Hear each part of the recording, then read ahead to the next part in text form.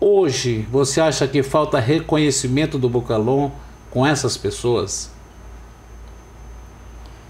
Eu acho que eu acho que o Bocalon ele poderia ser, ser mais grato, sim, poderia.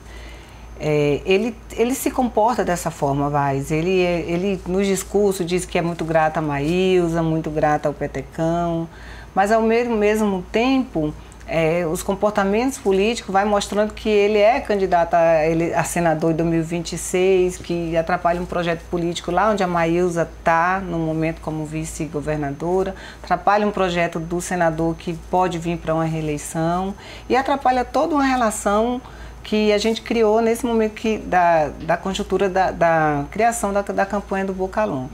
Eu vou confessar aqui para você, o Petecão sempre, nunca quis, nunca quis é, apoiá-lo, né? ele era contra, ele era contra, mas eu, Marfisa, sempre quis, eu sempre eu sempre defendi o Bocalon, sempre lutei, sempre acreditei no trabalho dele. Eu abriguei até com o governador por causa do Bocalon Vaz. Eu, eu lembro das suas discussões, até pelas redes sociais.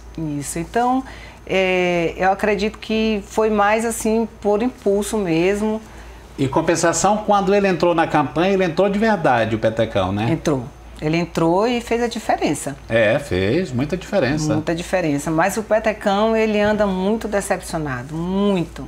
Muito Você acha que a derrota do Petecão para governo, é, a pouca votação que ele teve, tem a ver com a administração do Bocalon? Eu não posso dizer que isso não tem a ver. Né? Porque a gente sabe que a eleição polarizou né? em todo o Brasil. Então, é Lula, era Lula e Bolsonaro. É. Então polarizou, a gente pode dizer, a gente não pode dizer que foi uma culpa aqui da gestão, porque o Petecão apoiou o prefeito, com, tinha uma, tem uma rejeição né, grande e esse pessoal transferiu essa rejeição para o Petecão. Eu, na verdade, eu não sei analisar isso politicamente. É, politicamente, mas acredito que tem uma pequena participação, tem. A gente sente essa insatisfação, Vaz, e, é, das pessoas sabe? Porque eu digo, ser gestor não é ser só uma pessoa transparente, ser uma pessoa honesta, aplicar bem o dinheiro público. Você também tem que ter carisma, você tem que ser simpático, você tem que ouvir as pessoas. Às vezes a pessoa só quer que você pare um pouquinho, escute ela, resolva o problema dela, que é uma coisa simples na rua, um buraco, um esgoto, que isso não custa, não custa fazer.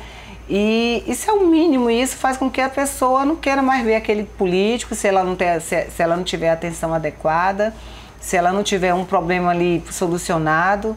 Então, nesse sentido, a gente está pecando muito. Eu estou ouvindo muita reclamação em relação a isso.